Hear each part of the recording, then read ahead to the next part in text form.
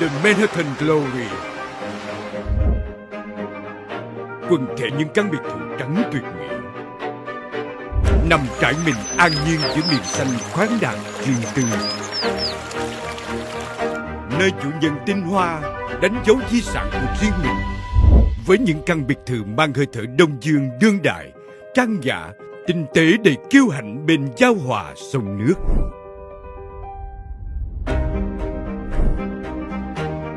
Nơi dẫn lối phồn hoa từ những đại lộ mua sắm, giải trí ấn tượng.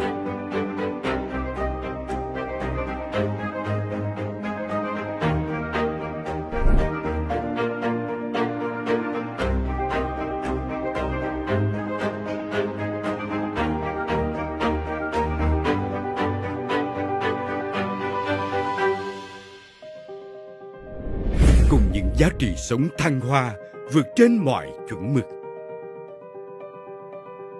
của những tiện ích thượng lưu đẳng cấp để nâng niu cảm xúc, nâng tầm trải nghiệm. Là đắm chìm trong những chiều hoàng hôn đầy xúc cảm, nơi bến thuyền sang trọng, là lạc vào miền sông riêng tư trong thiên đường nhiệt đới của công viên Tropical Malibu hay công viên ven sông Manhattan Riverside.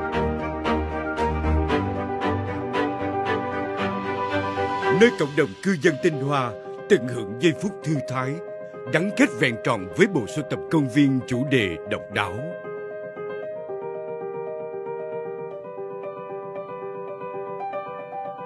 Là nuôi chiều giác quan bằng những trải nghiệm thư thái và thăng hoa cảm xúc với những nguồn cảm hứng bất tận nơi khẳng định chất sống riêng và gắn kết cộng đồng tinh hoa giữa vẹn tròn tiện ích đẳng cấp nơi lan tỏa niềm kiêu hãnh thường lưu giữa tâm điểm phồn hoa phía đông Sài Gòn. The Manhattan Glory. Nơi hào quang lan tỏa.